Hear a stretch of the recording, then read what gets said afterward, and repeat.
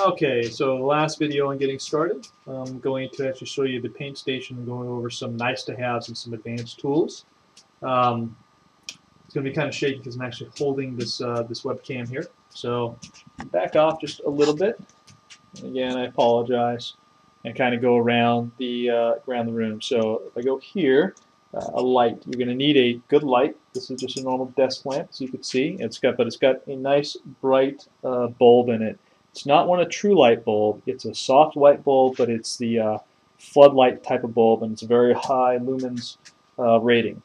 Um, if you're going to do an airbrush, you need a fan, or you need one of those stations that actually wicks the uh, stuff away.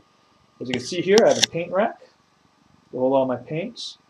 Um, this paint rack I got off of Amazon, I believe. It's an acrylic nail polish uh, rack that they have, you know, for um, all those places. But anyway, you can find them off of eBay or on Amazon. I think this was $30 to hold all the paints, which is really nice.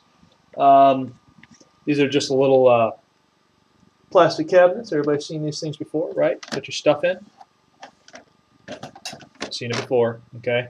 Um, you know, a few bucks here and there. You could use to get them used without too too expensive. This is a self-healing mat, the green mat here, self-healing mat. Um, nice to have. You don't have to have it, but if you care about what you're doing your uh, your work on, which I do not, um, you definitely need one. It's also nice because you're cutting things on here, not to gouge into the uh, um, the wood itself. And to tell you the truth, it's just nice to have on and be able to attach things to it and you know, those sort of things. You have your center, which is your work area. So this is kind of what I'm working on right now.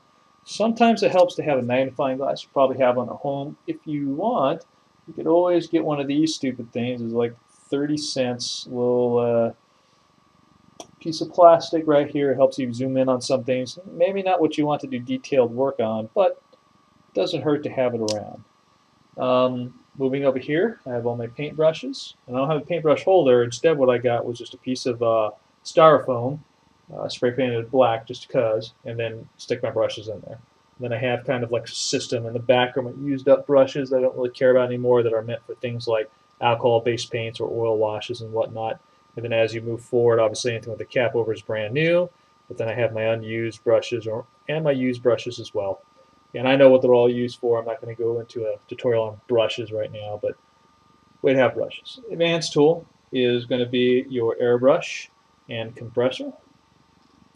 Not going to say anything more except I have an airbrush and I'm learning to use it. I won't say I'm an expert at it, but it's, it's a nice to have. big investment, okay? 200 to 500 bucks between the compressor, the tank, the airbrush, and the line. This is a very large investment. Again, eBay, eBay, eBay. I think I got the compressor for about 80, 80 bucks or so. I got the uh, the airbrush for I think 15. Uh, the hose I had to actually get from the local hobby store was $35. I believe that 35 bucks for hose. Try to make my own, but to tell you the truth, this does a better job.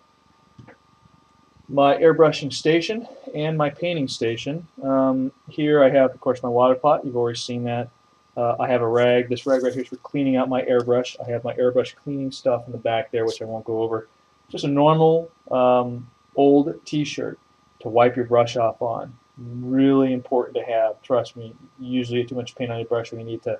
You don't want to run all over your model to wipe it off on this. You don't have to have it, but it definitely helps me, and I use it almost every single stroke of paint. My wet palette here.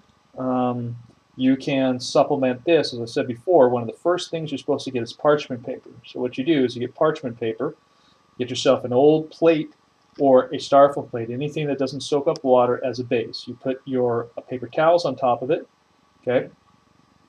Wet the paper towels down until they're saturated and put your parchment paper on top of that, and that's your palette. The reason you want a wet palette is because if you just use a dry palette, just a piece of paper, or really anything that's non-porous, piece of glass, whatever, you're going to find your paint's going to dry out very, very quickly. And quicker probably than you can use it. The wet palette prevents that. Also, when you're painting, you have to get the right mix of paint. I'm not going to go over that, but again, you have to thin your paint. You get to a point where you know exactly how thin you want your paint.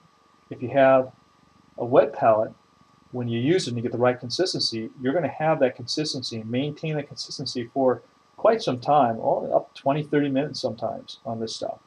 If you don't have a wet palette, you're going to get the consistency and the flow you want in about three minutes. As water evaporates off that, you're going to lose that. And You're going to have to constantly go back and keep rethinning your paint, uh, which is going to lead to a thinner paint. Uh, overall, you have to do more more layers and so on and so forth. So anyway, wet palette's really nice to have. This is again P3. It's got a sponge on it, right? And uh, you just fill this up with water. You put those little um, palette papers that I told you here before you know. But again, to supplement this and not spend the money, plate, non-porous plate of some sort, paper towels for two bucks, parchment paper for two bucks. Use that instead. I have drawers that have all my stuff in it.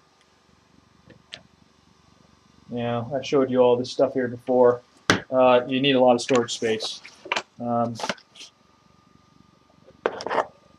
brush cleaner, definitely want that. I have another video that tells says about brush cleaner. You definitely want to use brush cleaner if you're getting into this at some point in time. Again, these are all future things, some point in time, to uh, uh, to, to maintain and prolong life of your brushes. Um, this right here is just some uh, painting tape to mask things off when I'm doing airbrushing. Um, gloves. Um, you can see I'm probably doing a product thing. Can't show that right. Anyway, black nitrile gloves or whatever type of gloves.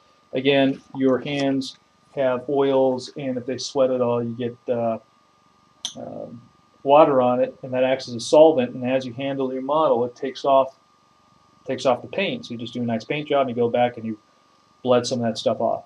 Wearing gloves, at least on the hand that you're going to hold the model with. So if you're right-handed on your left hand, um, really assists in keeping your model pretty pretty pristine. Uh, again, more stuff down here. This is where I keep all of my models. You want a place to actually have the models that you're getting ready to, to paint. Um, you also want to save all of the bits or the pieces that come along with it or the extra pieces off of your sprue because you never know when you're going to need them. And then, again, big one, I have Dremel down there and mineral spirits and hot glue gun and some other things. Um, the other item that I highly recommend is that sucker right there. This is one of these uh, strap on your head lamps, right? It's very, very bright. It's really nice to have this because sometimes no matter how many lights that you have, and you can see I have one, two, three in this room, um, all kind of pointing in different directions so I get a good ambient light because it's kind of dark in this room. Um, no matter what, you always seem to hit a shadow or you're holding your hand like this and you're casting a shadow over the miniature and it's a little bit dark in that spot. But if you could see it, chances are that that headlamp right there will be able to illuminate it. So it's it's a nice to have. I think they're about 15 bucks, something like that. Strap it on your head. You have both hands free. Helps you in illuminating your models. I still recommend having a normal lamp, right? Normal lamp. Have that sucker as well, but as a secondary, I would also uh, recommend the, uh, headlamp as well. And then, of course, the, the models that you're working on. Um, you could have a lot, you could have a little. Generally speaking, again, what I do is I go on eBay, think about what I want to use, what I want to paint, and then I'll start putting bids down on that with a certain limit in mind. If I win it, I win it. If I don't, I don't. I put a lot of bids down, though, so that I will get uh, something. The danger that you face in that, however, is that if you put many bids down, you might win many bids too. So be prepared if you put five bids down to win all five, and make sure you have enough uh, money uh, out there to um, to cover all that. So the last thing I think that would be um, important um, for anybody that's doing miniatures, I guess, that's going to be selling them, is to have a a good camera and some sort of background to take pictures with. I don't have that. I have a good camera, but I don't have a good background. I'm not a photographer. I don't know how to make any nice pictures with soft lights and all that sort of thing. But if you really going to get serious about it and you really want to, you know, good picture says good words, but don't mask anything. Show them what they're actually going to get. All right, guys, I think that's about it. So if there's anything else you have a question on, just leave it in the comments so I can get to it. Again, these are kind of the basics. I'm a little bit scatterbrained, I'm supposing, as well. And again, remember, I'm just a hack at this anyhow. I'm not a professional. I'm not your pro painter, or I'm not your less out there or any of those guys. But I do enjoy the hobby a lot. uh, in in my spare time, and I've grown. And like I said, all this stuff right here, including the compressor and all that kind of stuff, amounts to quite some bit of money. Maybe five, five hundred bucks worth of the stuff here in front of you. And I can tell you right now, just off of doing this a little bit and selling it for a decent price uh, online, I am ahead of the ball game. So I've actually made money on this on this hobby. Um, so nothing better than doing a hobby you could actually at least break even or even make a little bit of spending cash here and there on. You know, and again, if I'm making two, three hundred bucks a month, there's nothing to snuff at. Two, three hundred bucks a month is a few times out to eat. You know, maybe a you know, the, the odd tire replacement when your tires blow because the roads suck. Um, who knows? So anyway, again, if you want me to cover anything else, leave in the comments below. Until then, I hope you guys enjoy, and I hope this was a help.